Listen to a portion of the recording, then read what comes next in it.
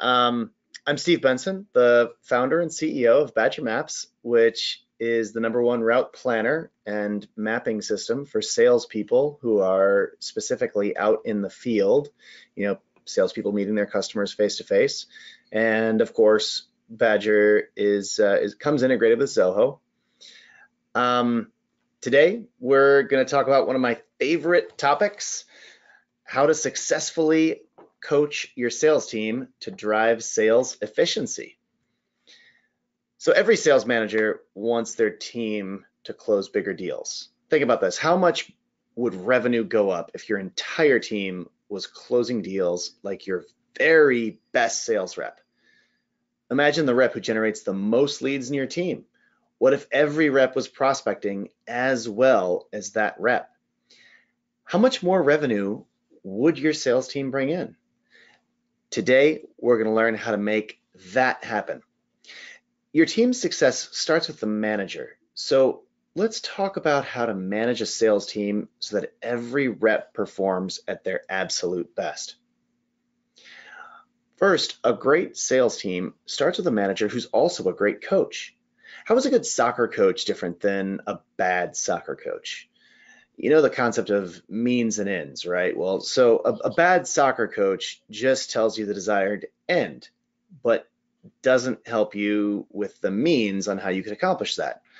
Uh, for example, they they might tell their team to play better defense or be mad at their team that they're not scoring enough. A good soccer coach, on the other hand, identifies the specific skills team members could improve to enhance their performance. They provide their players with insights into how they could be better, and they create drills to help the team achieve their goals. For example, they might say to a left forward, hey, on your right side crossover, it, it, could be done like this to get an extra jump on the defender. Go practice that like this, and or whatever the skills skill that they're talking about is. And that's the same strategy great sales managers can apply to their sales team.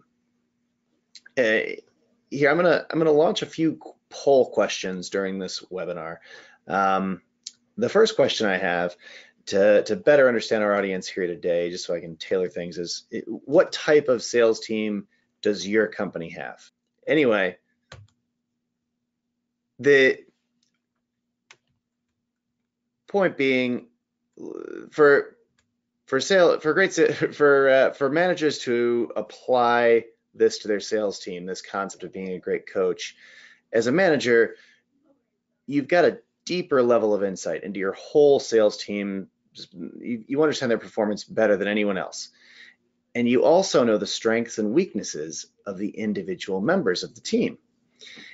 It's your job to improve their weaknesses, but before you can improve their weaknesses, you need to recognize their strengths. The first step to doing this is to is to ask yourself which skills determine whether my team succeeds or fails. Then you break down you break the sales process down into those skills, meaning so you'll end up with a few key skills for each stage of your sales cycle. Once you've identified the key attributes and skills that make your reps succeed or fail, rate each rep on your team on how good they are on a scale from 1 to 10 in each skill. Measuring this can feel a little subjective, but the, the goal is to identify who's really good at a given skill so that they can be the model for the others they, and they can teach the others. If no one on the team is good at a certain skill, you can always tap your network, tap an expert or a consultant to fill in on a certain area. Use your judgment and use historical sales data about your team to rank your reps from from one to 10 in each one of these categories. And we'll go through which one, what those are. Uh, but for example, you know, use your historical sales data from your Zoho CRM, and you know, because the data in Zoho is very powerful, you can identify who has the best skills in a certain area uh, on a on your team. You can look at sales metrics such as the number of sales meetings, uh, how many calls they're getting, how many closed deals they have of a certain type over a certain period. And you can use those, you can use that data to identify the strengths and weaknesses across your team. So a 10, if you ranked a rep, rep, you rank all your team members, and if you ranked someone a 10, it would be the highest a rep could potentially perform at a, at a given skill. For example, a 10 in timely and relevant follow-up means that your rep could not do this particular skill any better than they're currently doing it.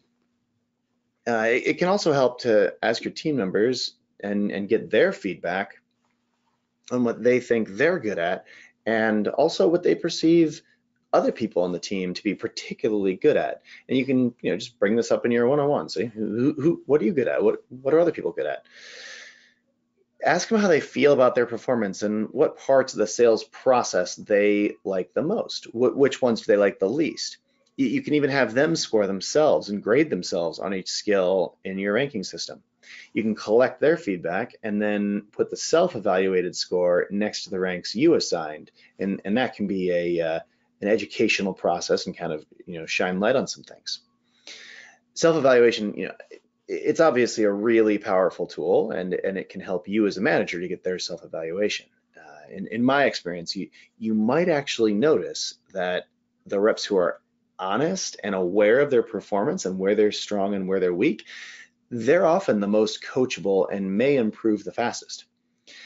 In in those same one-on-one conversations with one-on-one conversations with your reps. Um, you can also ask them to talk about who they feel is great at other skills in the sales team. You can who do they turn to for help when there are particular questions about the product or you know, who do they think is the best negotiator? Reps tend to notice when their peers are particularly good at something and and they'll reach out to them when when they need when they need help. So you can leverage their eyes on each other you only have one set of eyes, but you know a great leader leverages the knowledge of the whole team. So be sure to ask uh, the people in your team's opinions. You don't need to show your ranking list to the team necessarily. The point is to to give you a clear view of who's good at what so that you can have the most talented people share their skills and knowledge with the rest of the team. Compare your opinions with what the reps thought about themselves and about their peers now you've if you've gone through all these steps, you really have a list of your reps in order and they're stack ranked in order of their abilities. Now pay special attention to the top performer in each skill set because they can become your go-to resource for improving your sales training and getting the rest of your team up to speed. Now it's so now we can put this coaching plan into action. You can you can divide your coaching plan by skill set that will maximize the ROI of each rep's training. Most reps don't need new hire type sales training all over again.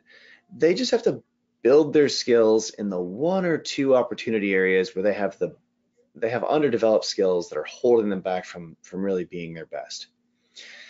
So now that you know who on the team needs help and you also know who on the team is in the best position to help them so you can put a plan together to make that happen because now you've identified the key skills that reps need to be successful and you figured out who's good at what.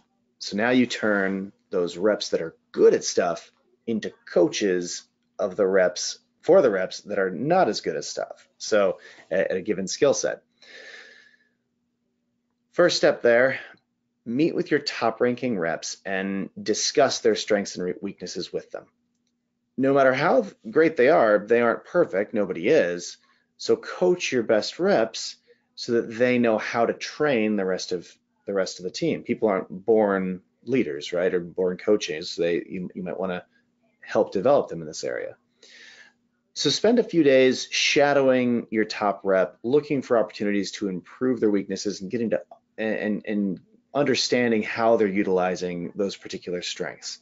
Analyze their schedule. How do they how do they use their time in order to operate at such a high level? As a manager, your job here is to help your your sales reps understand the subtle things they're doing that make them stand out amongst their peers. They they might not even notice what they're doing is special. They they may even not realize it. For example, it, you know they they might assume that everyone closes deals in a certain way that you know, a guy that you're looking at who's a really good, great closer, they may not realize, oh, I'm, I'm doing this special thing, but but you can watch them and identify, oh, this is what you're doing. This is why you're so successful at that. Then you can help them understand why they're good at something, and that will help prepare them to communicate what they're doing exactly with the rest of the team. Even, you know, even the best reps aren't necessarily the greatest coaches. It's common. The greatest practitioners are, are often not the greatest coaches. I think it was Einstein struggled as a college professor. And, you know, it was, it was probably hard for him because he was so far removed from the elementary aspects of physics. And so his lectures were super dry and hard to understand. And literally, he was Einstein. So, so the lesson there for your reps, the it's a it's a skill to be a coach and and the skill that you've identified in them that they're so good at you know they they don't necessarily off the top of their heads know how to teach others to be great at it they may still need to put some thought and some elbow grease into transferring that knowledge effectively. Also don't just look at what they're doing differently but look at how they're performing the activities they're especially good at for example, watch how your top reps plan their day, decide what to do first, organize their information, prepare for sales calls, find the details that really create champions. Uh, you want to find the obvious ones, like getting to work early, but also the less obvious traits, like the body language they use when they're with prospects, or how to overcome, how they overcome certain types of, of common objections. So now that you understand how important it is to turn your best reps into coaches for the rest of the team, let's take a closer look at the critical skills you should be looking to identify in your reps that they they they might be particularly good at and therefore able to transfer their knowledge to the rest of your team. A few examples of the types of skills that can determine how can really make a rep more successful. Um, first, prospecting and building rapport, qualifying, negotiating, preparing for sales meetings, giving persuasive sales presentations and closing, the ability to overcome objections, and finally, timely and relevant follow-up. Now, we'll go through these skills one at a time and think about how to identify them.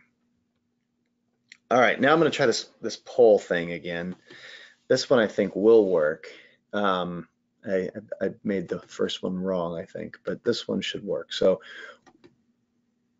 let's see if we can get this up here. So which which sales skill does your team need the most help with? Oh, this is fun. I can see the, the, the answers rolling in here. I won't bias everyone by telling by saying what people are saying the most. um, very cool. So, well, uh, the the top thing was uh, prospecting um, and qualifying. So we'll start with uh, prospecting and building rapport. And I think this is honestly one of the biggest things, uh, biggest things out there. So I'm not sure that it pulled so well. For this skill, you'll want to watch for things like how your top rep starts a call, how they establish rapport and become friendly with the prospect, how they personalize your offering to the prospect, what unique phrases they may use early in the relationship, and how do they ask the prospects to take the next step. Finding the right opportunities is the first key to beating your quota. And doing this well depends on a lot of different factors, including the number of leads the rep is contacting. Um, but really, the the proper technique will help everything else fall into place. Tonality can play play a big role in how your sales reps are perceived by buyers. Pay attention to really how your your rep approaches prospecting and building rapport so that you can help them get ready to communicate their approach. Next, we have qualifying. So that was the that was the other big big uh, high score on our little poll there. So qualifying prospects is is probably the most underrated part of the sales process. Honestly, it, it great qualification ensures your reps aren't wasting time with people who don't have the ability to make purchasing decisions. So look at how does your best rep decide which leads to approach? How do they score the leads they find? Do they do that you know, in a written formal form or are they just doing it in their head? How do they phrase and have a qualification conversation? How do they work those questions in? And then how do they prioritize their prospects and opportunities, taking all that data into account? Qualifying the right opportunities, well, it, it makes every step in the sales process after that easier. A lot of sales reps aren't thoughtful enough about the qualification aspect of sales. Maybe it's because salespeople are, are often optimistic by nature, but instead they can chase after deals that had signals that they were unlikely to close or unlikely to close soon and need more nurturing. And this is when they do this, it's arguably the biggest time waster on sales teams. So help your reps who are best at qualifying figure out what makes their approach successful and what they're doing effectively to qualify their opportunities and prioritize the best ones. The next skill um, that also pulled highly uh, to figure out who on your sales team should teach other people negotiation. Think about how important it is that your sales team brush up on their negotiation skills. If they if they could close an average of 10% more deals and close them for 10% more revenue, it's worth a tremendous amount to your company. Because this is such an obvious win, it probably gets an outsized share of existing education, honestly. But the trick to having a rep who's great at it teach the others is that so much of being a great negotiator is unique to your product, your deal size, your market position, your competitors, etc. You know, like a, uh, even a negotiation expert can't step in and negotiate better than your your best rep probably because they know all this stuff. So learn what what what is your best negotiator doing that enables them to enables them to be so successful and then then they can share those skills with the rest of the team.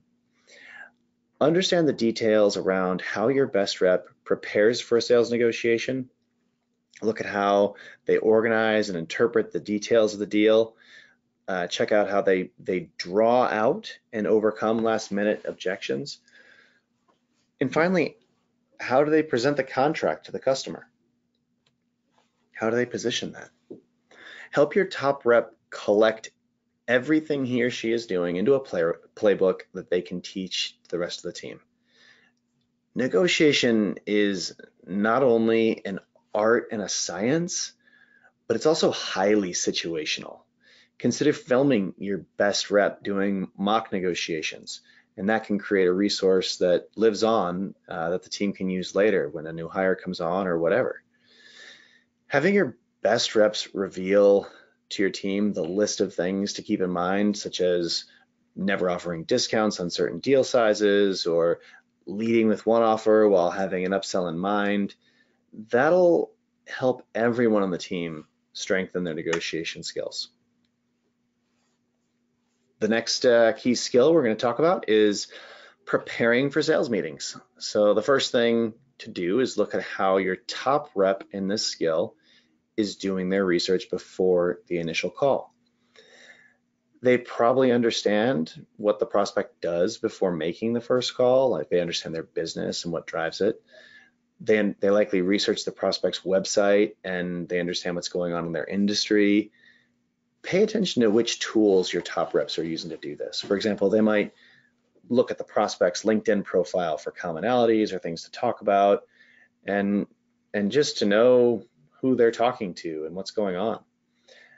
The, see if they keep track of important things in their Zoho CRM so that they can quickly refresh their mind right before each meeting because it's hard to keep everything top of mind all the time. After doing appropriate research, to be prepared for a meeting, reps should generally have a pre-call before the meeting. I strongly recommend this. Prospects, especially if they're the sponsor or champion who's already put some of their social capital on the line to bring you in to present to the group, those types of people are often really happy to oblige if you ask them, would you like to have a five minute prep call before the call with the full group so that we can make sure everything goes smoothly? Um, once a rep has the champion on a call, a good thing to ask is something like, just so I make sure I focus the demo on what's most important to you guys, what's the main goal you want to achieve with this call? What what are you hoping to see?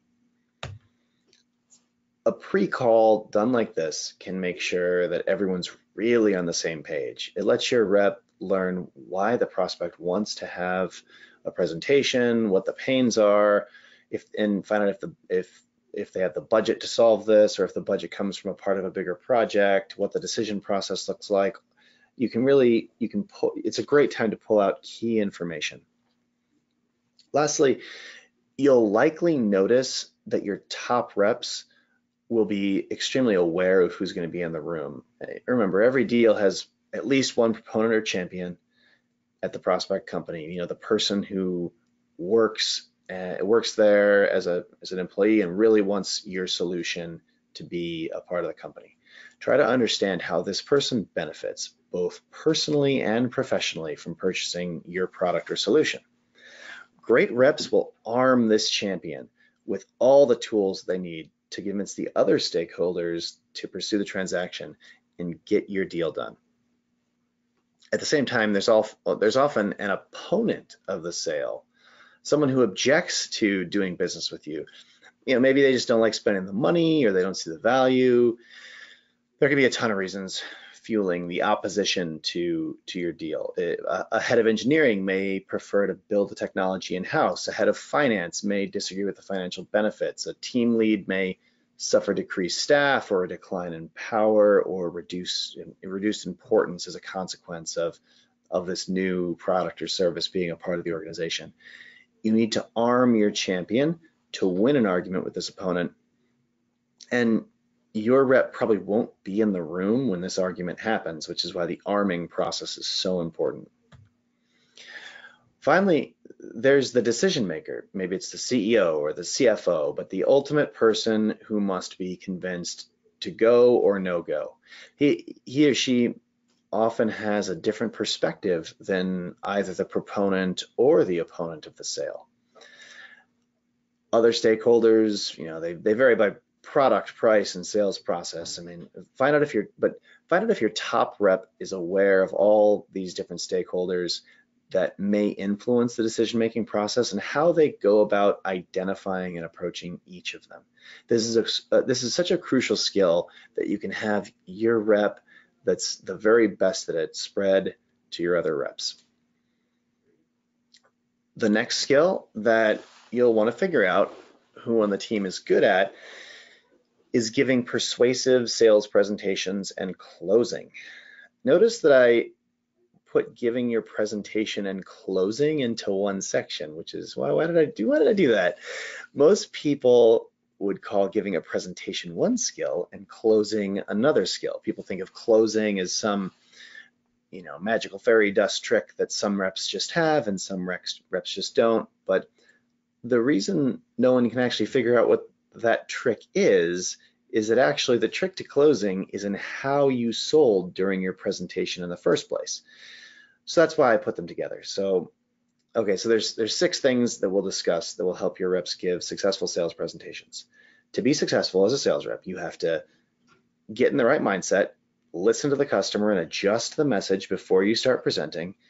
You need to uncover the business value of your product for the prospect you need to be confident saying no or I don't know. You need to avoid relying on your deck. And finally, you need to communicate with confidence. When working with your top performing rep in this skill, you need to find out how they implement these steps and what makes their approach stand out. So let's discuss these steps briefly and think about what it takes to do them successfully. First, get in the right mindset. don't sell, communicate value. Genuine passion and have have genuine passion and a positive attitude, show confidence, and that builds trust. Listen to the customer and adjust your message before you're presenting. Ask yourself, why did the prospect agree to meet? Get the prospect to describe their pain points and now adjust the presentation to this new information. Uncover business value. Get the prospect to understand the value of solving their problem. Use concrete numbers to quantify the value. Be confident with saying no or I don't know. Don't don't make assumptions. Build credibility by being a partner to your, to your customer and looking for a solution. Don't just rely on the sales deck. Interact with people in the meeting. Use the deck only as a reference and to summarize the value and pain points solved. Communicate value with confidence. To do that, just don't show nervousness. Nervousness, use confident body language and project confidence with your voice. Next, I want to move on to talking about the benefits to the strategy of anticipating price objections. Over the years, I've seen even reps who are great at overcoming most objections aren't prepared to do a really great job at overcoming price objections. No matter how experienced they are, it can throw them off their whole game. So let's let's dive let's dive deeply into how how to handle price objections. The best way to overcome price objections is to not overcome it. Instead, look for your reps to anticipate the price objection and cover it during a sales call so they won't even have to overcome the objection. The when it comes time to close the deal, the objection has already been removed because of that anticipation and dealing with it early. The key to overcoming an objection, and this is really true of any objection, but especially the price objection, is to not wait for the prospect to raise it, but to own the objection by raising it first and dealing with it up front. And this is counterintuitive. Pay attention to how exactly your top performing sales rep at closing is lowering the prospect's resistance by addressing the objections and concerns throughout the entire sales meeting by bringing things up proactively, they'll increase their credibility and show that they deeply understand the prospect. Your best rep in this skill will likely anticipate the price objection and bring up price before your customer does. Let's talk about the specific steps you need to look for in your top reps behavior when it comes to anticipating and handling the objection before the prospect brings it up. First, how do they bring up the objection and empathize? A good thing to say might be a lot of people ask about price, and that's always an important thing to talk about. How do they let the prospect know that they can resolve the objection? Are they focusing on the value of your product or service? Um, we'll take the objection, the, the example of Badger Maps, the company I run, because I'm familiar with that. One of my reps might say, once a sales team is using our mapping tool, the value is really clear, but like a lot of things, uh, until it's up and running, there are always a lot of questions. So we recommend trying the product out in our free trial so that you can truly understand the value that you'll get from the product. Take note of how your best rep demonstrates why the price is appropriate, taking into account where the prospect is coming from there could be two situations here that your top rep needs to handle differently to be able to teach the team. First, uh, either the customer has decided to buy something, but is still deciding between you and your competitors, or second, they're trying to decide to buy from you or do nothing. So let's talk about the first scenario first. How does your best rep hold up against your competitors? Look at how your top performing rep acts in a situation where they find themselves up against a low cost competitor.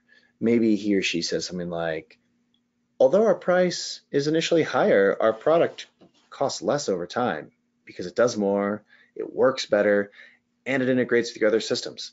So you get a lot more value out of it. When you see the two next to each other, it's pretty clear why the total cost over time is lower and what you get out of it is worth a lot more with us. Let me show you how. A response like this shows that your top rep is able to convince the prospect of the higher value of your product and overcome the price objection. So let's do the second scenario. Your rep is up against the status quo. So you buy your product versus do nothing. When your reps find themselves up against the option of doing nothing, it's important that they can show how much the prospect won't gain slash will lose if they don't take action and buy the product. If you you're showing them how much they're going to lose. And many studies show that for some reason, people hate losing things, but they're not as bothered about giving up potential gains. So think about that. Because we all we we all do it and it causes us to make irrational decisions. This bias towards being just hating losing things. Effectively showing the ROI of your solution is a great way to accomplish showing the prospect what they will lose, maybe on a monthly basis by by not doing not not getting your service. Is your top rep able to show them on a dollar value what they're going to be losing every month if they don't use your product? Because they're probably going to be make, making a lot of sales if they can, because that helps them make their case and convince a prospect to act when the other alternative that the prospect was considering was inaction. It's important that they can break down how they handle this and uh, and and what skills they're they're using, and then they can teach that to the rest of the team. As a last step, after your rep has made their point, see how they verify that last objection and see how it's been overcome to get the nod that the price is appropriate. So what do I mean by this? They they should mention concrete numbers again saying something like, does that sound right given this analysis that your organization is losing $20,000 a month by not having this solution in place? If the prospect is nodding their head and your product or service costs $2,000 a month, the rep really probably has the sale. And and it's because they've demonstrated that they're great at overcoming the price objection. So now you know how to identify and coach your best rep in overcoming a price objection by anticipating it in a, and we've gone over it in a pretty detailed way. Uh, however, you should keep in mind that sometimes when prospects bring up a pricing objection, they could actually have another objection in mind that they aren't even saying. They're just they're they're leaning on price as their excuse, and that leads to a whole other challenge that your reps need to overcome. So how does your best rep identify and understand the true nature of an objection? When someone objects to the price, there are actually four objections that could actually be the true objection that are just hidden behind the price objection. One, that your rep has not shown enough, shown that your product is valuable enough, so they don't see the higher value as being worth it compared to the price. Second, that there are cheaper substitutes to your product. So even though they want something here, there's a cheaper version, so they're not going to buy yours. They're bringing up price. Um, third, that they're afraid to spend that much money on a product or solution that they still feel is risky. Or finally, that they truly don't have the money. So let's let's go through these um, through these deeper objections in a little more detail. Number one, the prospect does not understand the product's value. So for this one, does your rep verify that they understand the prospect's problem? Does your rep show them how your solution solves the problem? And does your rep quantify what solving the problem is worth to the prospect in real dollars, right? Second, there are cheaper substitutes for your product does your rep know the industry really well, know the competitors, and and know be able to are they able to talk about it like it's the back of their hand? Um, do we talk about the back of our hand? I'm not sure. that was a test. Uh, is, is your rep an expert in your competitors' products and do they know their weaknesses? Your, your reps need to know and show why your product will create more business value and be less risky than the cheaper product. The third true objection, the prospect is afraid to spend that much money on a product or solution because it still feels risky. So your reps need to put their, themselves in the prospect's shoes here. They need to empathize. They need to, they need to, the, the prospect needs to be reassured that your solution will work for them. Your best rep they'll, they'll make the, the customer feel secure and safe that that eh, maybe they'll do this with case studies, maybe they'll do this by having them talk to other customers. But a lot of times the reason people don't buy something is because if they buy, if they spend money and it doesn't work or damn, you know, messes up operations, et cetera, they could be putting their job at risk, right? Identify strategies that your top performing rep uses, like leveraging these customer testimonials or introducing prospects to current customers. In that way, the uh, you know the, they'll be able to the other reps can learn how they do that. Finally, if the prospect truly doesn't have the budget, you know this this could mean the prospect really doesn't have the money, or they have some money but not enough for full price, which is really two different situations. If the product if the prospect really just doesn't have the money, they don't have access to the funds, your your rep can take steps to help them purchase the product even if they don't have the money right now. So one strategy they can use to make this happen, you can offer the first two months free and then charge them monthly after that.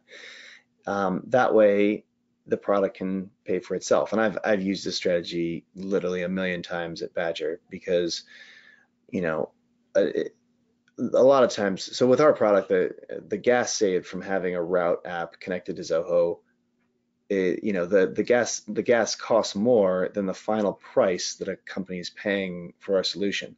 So from a financial perspective, if we give them two months free, then the gas starts paying for the for the the solution, and so they've the the by the third month they're they're not paying anything because they're just the savings in their gas they're paying us and they're paying us for the product so the product is basically free forever so that's if they don't have the money that can be a really powerful way of doing it. It's just kind of give them like a trial and try out the product, and they're like, oh, this is paying for itself. Great. Well, we can keep we can keep paying, we can keep we can keep doing it, and that's a great thing. Maybe you're if, especially if the prospect is too low in the organization, to have as, a, access to the budget, but they're but they're high up enough in the organization that they, you know, they own the problem. Great time to use that strategy.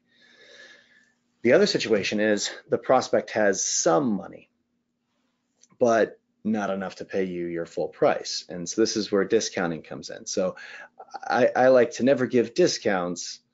I like to never give discounts, but to make um, price adjustments.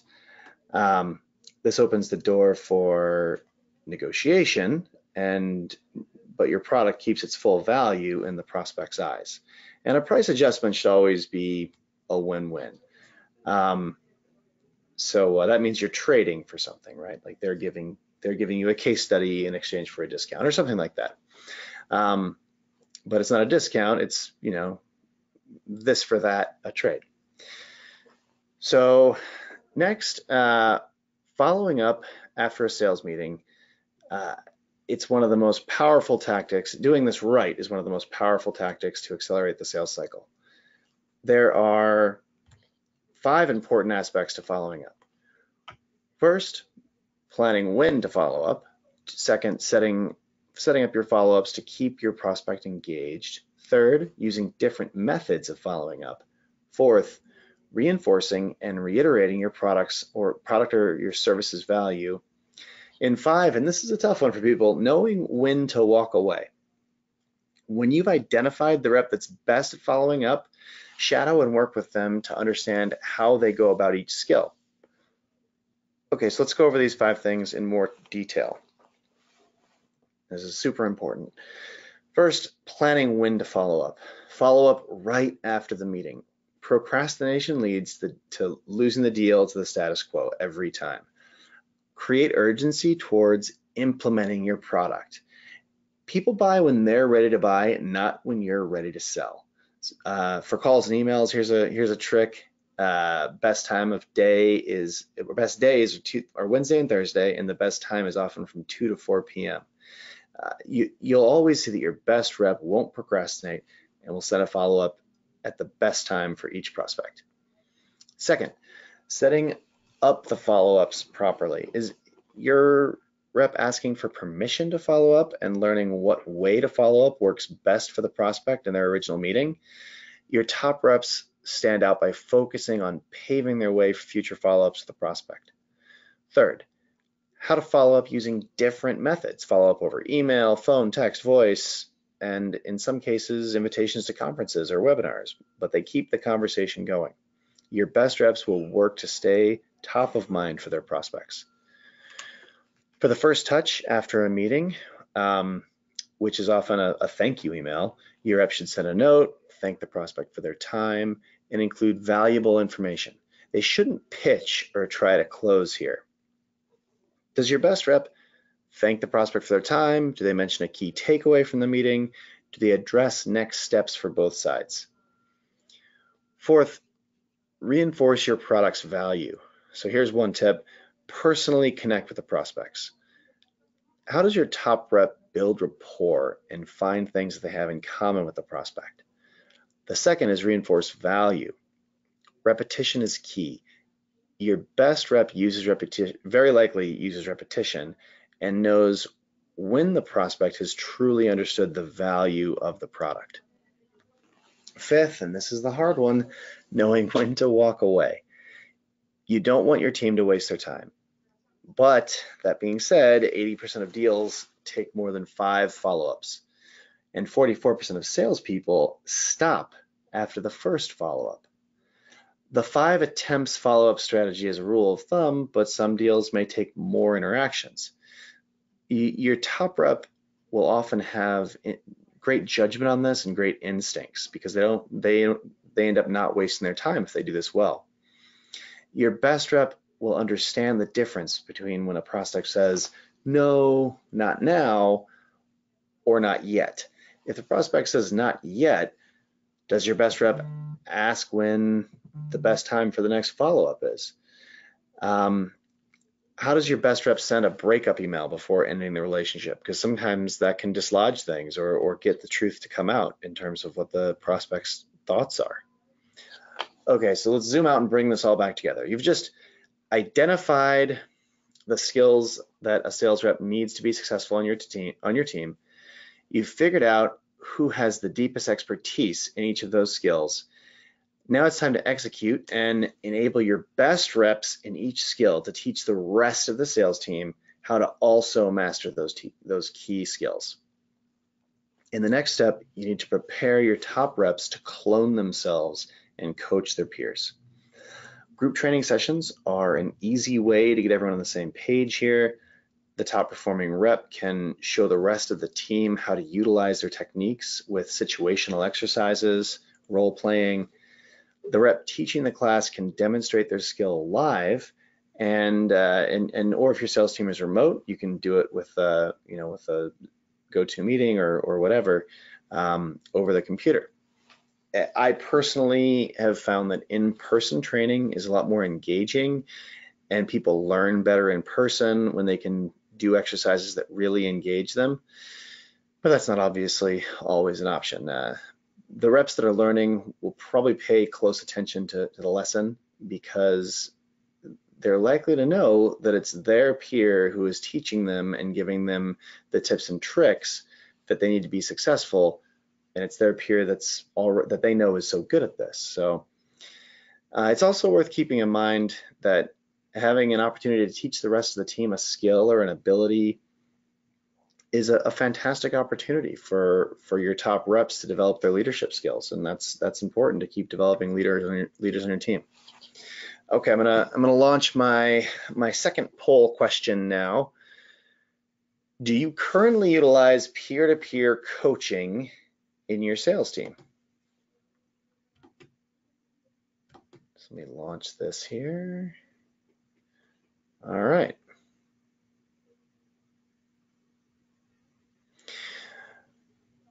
Okay, well, a, a lot of no's. So this is a huge opportunity that we've taught, learned how to do this today, because this is, uh, this is, this is very powerful. It's very powerful stuff. This peer-to-peer coaching and teaching in this way. I I'm surprised how few are actually using this sort, of, these sorts of skills already. Um, well, um, you know, how do you do this? You can host these training sessions as a part of a weekly meeting or at the monthly, quarterly, or annual meetings. I like to have skills taught regularly and I like to make learning a regular part of the cadence of the job on sales teams that I run. You're likely to get better results in terms of knowledge retention and skill development if you teach new skills for one hour a week than if you cram 10 hours a day straight for a week at the annual kickoff. It's better to spread it out over the year.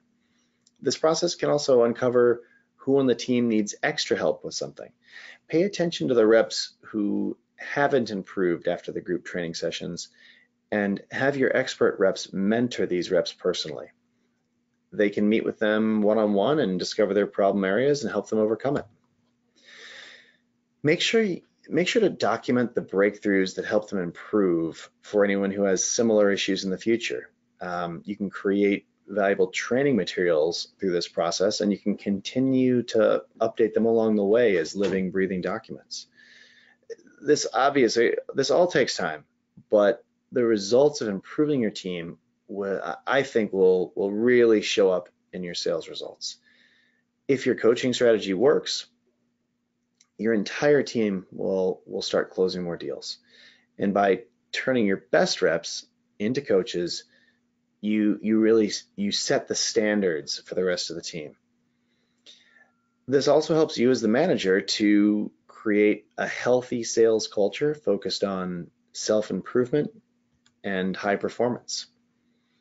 I've always felt like there are two styles of sales leadership in the world, spreadsheet managers and coaches spreadsheet managers aren't necessarily connected to their team's activities, but they're laser focused on the results.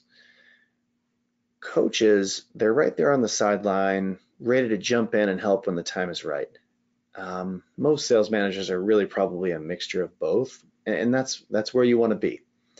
But a lot of great managers, you know, you, they can slip into a pure spreadsheet style of leadership and you know this is probably because there's so much to do in the modern world it can, it can be exhausting to stay on top of everything going on and exhausting to stay connected to your team and their performance um, but don't allow yourself to lose sight of what matters the actual people on your sales team that you're leading smart coaching puts the team in a position to succeed because you're giving your reps the skills and abilities to win bigger and better deals by focusing on the most important part of their performance, who they are as salespeople. Managing a person isn't the same as managing a spreadsheet and understanding the difference is it's an essential part of building a high performing sales team. Just like a, a great coach names team captains, you can deputize the reps on the team who are the strongest in a particular area to lead, to coach, and help you develop the rest of the team. Not only will it spread the skills of your top performers to the rest of the team, it will also help develop the next generation of sales leaders on your team. I hope this webinar was helpful to you guys and, and that you learned some tips that you can implement uh, to improve your sales team's efficiency and their performance. If you'd like to hear more thoughts like these, I also have a podcast about the skills that field salespeople need called Outside Sales Talk. Uh, you can find it on all the all the podcasting platforms. Like I said, that that podcast is called Outside Sales Talk. I I have a bunch of free sales training videos on our YouTube channel. Uh, to find that, just Google the the Google the Badger Maps YouTube channel, and they're just available there. Um, all right, well, let's go into the questions that you guys have submitted here. Cool. Thanks, Steve. Uh, on behalf of Zoho and Steve, thanks to each of you guys for joining. Um, hopefully you guys found it useful and we definitely wish the best for you, each and every one of you in your sales journeys. Um, so let's get to some questions. Um, we got one here that is, uh, why would a top rep want to take the time out of his or her day to actually help his peers be successful. So I guess um, is there you know taking time out of their at their ability to make more sales? Like what's the incentive? Yeah, I mean it's it's a good question. I I think the biggest incentive is um, well, a I mean it's not that much time, and they're going to be in that group meeting anyway, so it's an opportunity for you know for them to be leading it because you're you're giving these you're having them teach at a group meeting instead of you teaching because you know frankly they're so good at it right at this one thing. Um, people often like to help their peers and uh, even though they're busy salespeople but and they also they often they like the leadership opportunity. You know a lot of salespeople really want to really want to be a leader in sales someday they want to manage a team themselves and and this is this is the uh, the training wheels version of that. Great. Um, another one is how often do you go throughout this exercise with sales sales teams? Monthly, biweekly, etc. I think it's ongoing. So as a sales manager, you should be looking for just constantly looking for things that your sales team could do better. And then you know and, and, and, thinking oh if everyone if everyone knew how to do this particular thing better then uh, you know we would sell more stuff. And then you so you, you identify that thing then you identify who's good at it and then you have them teach that skill. But i i think a lot of people they make a big production out of this and they want to you know take two days at the annual sales kickoff to do 20 skills in a row and i think it's way more effective to to just kind of do it on an ongoing basis? Um, this one came early in the webinar. It was uh, where can we get some sample questions that you mentioned, and how does the coach get better before approaching a sales team? Um, sample questions. Hmm, what do they mean there? The where can we get sample questions? Oh, like sample. I guess I, I think they're probably referring to um, questions to ask prospects. Um, I have a I have a video on on my uh, on my YouTube channel about how to prepare for a sales meeting that would that kind of goes into the questions in detail. Um, you know, I'm I, I kind of reteach the same you know 15 20 things in, in different formats and so you know i kind of summarized some of the things that that i teach in other places here uh, so I would that's probably the, the best resource I, I could offer for for that. Um, just Google Badger Maps YouTube, and you'll end up on our YouTube channel. And you know, a lot of it's like training videos and stuff about the software. But if you go into channel into playlists, there's a playlist that has like 12 training videos, and one of them is about how to prepare for a sales call, and that'll that'll dive deep into the questions. Uh, here's one. Uh, what types of skills do you look for when hiring your sales teams that maybe would transfer over to being good uh, uh, students um, to, to train and, and become better? Um, I, I think that this is where attitude and curiosity come into play when you're when you're hiring salespeople. You want to make sure they understand the sales process and they have all the requisite skills that but it's very it's actually very difficult to when you're interviewing salespeople to tell if they have certain skills. Like it's hard to figure out, and and you know, there, people use try to use tricks for this sort of thing to like you know, like when you're interviewing someone, you can you can uh, mention, oh, here are the three things that I think sales reps are are re- really make a sales rep at this company more successful. And then you know 45 minutes later you can be like do you remember what those three things i, I said were the things were, were the most important? And, and and you know it's because it, it's kind of like a prospect right? Like it's a conversation that's similar to, to if they're interacting with a prospect and a prospect says these are the things that i think are most important to me. You know if they remember those things then they're then they're good at listening and and uh, that's and if they don't if they have no idea which what the things were it's a bad thing but it, it, but there's a lot of little tricks like that that you can use when you're interviewing. Um, but ultimately, you know, you want to try to identify if they like to learn, if they're curious, if they're, you know, energetic, um, if, if, they kind of have a, you can kind of tell when someone's just got the right attitude and, ha- and and they're just committed to being someone who who is constantly looking to learn and better themselves and is coachable and is looking to continue to develop rather than just you know kind of punching the clock. Cool. I think we have time for one more. Um, if you identify a key skill that's important for your team's success, but none of your reps are really an expert in that skill, how would you go about teaching your whole team that skill? Yeah, that this is a tricky one, right? Like if you're like, oh, you know, this this thing is really important and I can tell we're weak at it, um, you know, prospecting or something, you can you can bring in an outside consultant or a sales trainer who has a particular expertise in that skill and, and have them teach the team. Um, there are also a whole bunch of uh, just resources out in the world. I feel like, you know, between all the sales thought leaders floating around in the world, there's a, a video that teaches you how to do almost everything that's available on on YouTube, et cetera, to coach specific skills. Um, there are some and and there you know i i think that and and i'm non-biased here right? Like i'm not like a you know i run a software company. I'm not you can't hire me to to be your sales coach or to come teach your sales th- team things.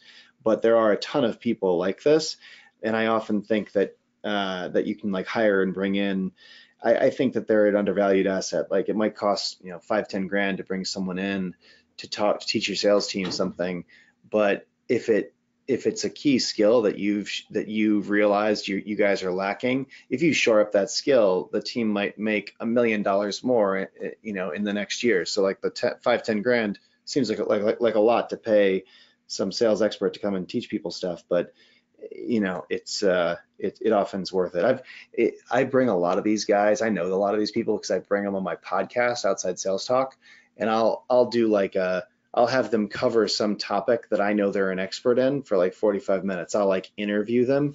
And so you can go through a lot by you can go through that and see all the different topics that that kind of are the skills that are floating around that either sales managers or sales teams need and then you can see which person I handpicked to to cover that topic. You can and then you can listen to them doing like a a, a brief, uh, you know, a 45 minute training on the topic. And you can decide like oh I, i'd like to bring this person um, i'd like to bring them bring them in and to have them go deeper. Or maybe you just have the team listen to that, to that issue of the podcast if it if it really covers what you needed. Um, but i you, you can find these guys easily. Like you know they, they're they make themselves easy to find so but definitely check out who covered what on my podcast. That's that that's a really helpful. I've, I've spent a lot of time kind of handpicking these guys, so it's it's a helpful resource for that's available for free for everybody.